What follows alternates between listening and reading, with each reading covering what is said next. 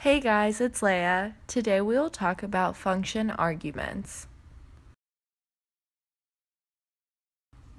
An argument of a function is an input in the function, or what we plug into the function, normally for x.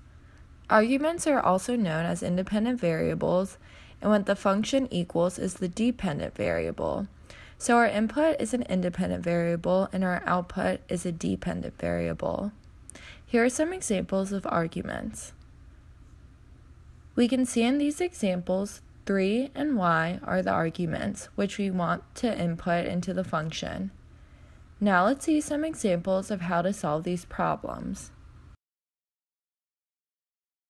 First example, we have f of x equals 2x plus 4, and we have f of 5, where 5 is our argument.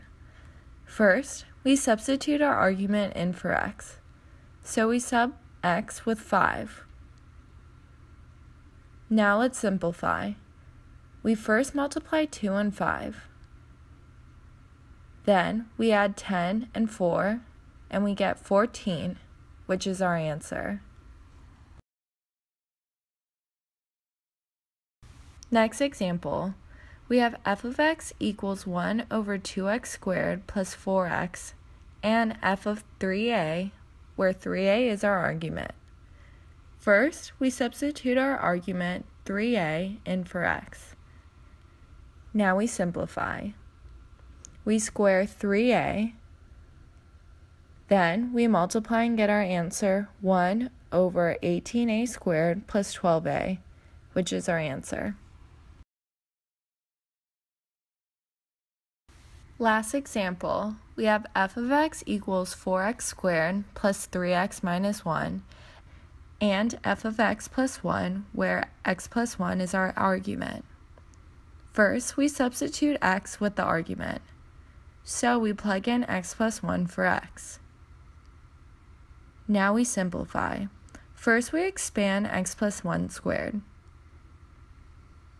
Then we multiply.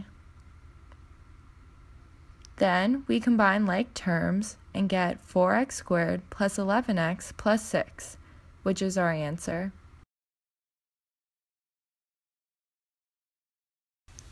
Understanding arguments isn't very hard. Just remember to plug the argument into the function. For more help or practice on this topic, visit www.symbolab.com and click on the Practice tab.